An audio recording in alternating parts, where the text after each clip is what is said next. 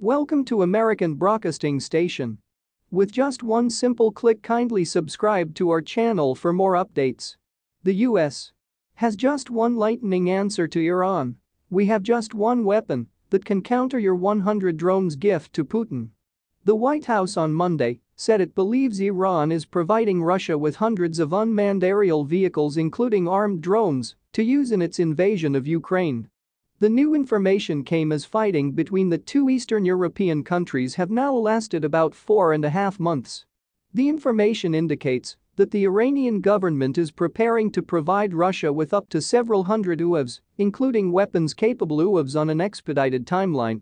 Iran's support is indicative that Russia's attacks on Ukraine are coming at a cost to the sustainment of its own weapons. This move by Iran is no news to the United States since it has recently developed a technology in its arsenal that would be able to neutralize drones.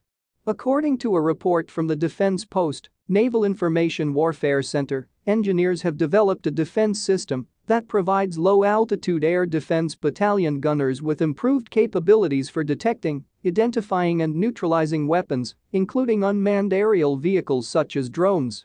The system, known as the Marine Air Defense Integrated System, is equipped with 360-degree radar, Stinger missiles, heavy guns and multifunctional electronic warfare to combat drones.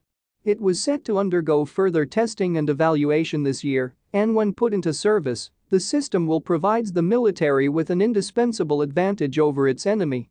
As the United States learned that Iran is giving Russia drones to use in the conflict, Russia quickly stepped up its strikes against Ukraine killing more civilians in recent days.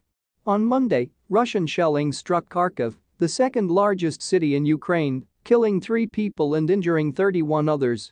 It came after a strike against the eastern city of Chasiv Yar reportedly killed 35 people.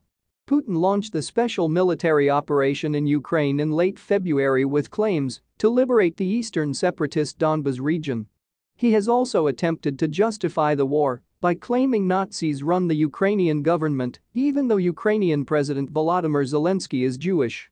The revelation that Iran is giving armed drones to Russia came the same week that Biden announced plans to make his first trip to the Middle East as president. Iran's drone gift also puts it at odds with the United States, which, along with other Western nations, has backed Ukraine amid the conflict, sending its military weapons and enacting sanctions against Russia. Experts anticipate Iran's nuclear deal and other activities will be a major topic of discussion between Biden and Middle Eastern leaders during his trip as nuclear negotiations with Iran continue to stall. Meanwhile, Putin is set to visit Iran next week. Kindly subscribe for more updates.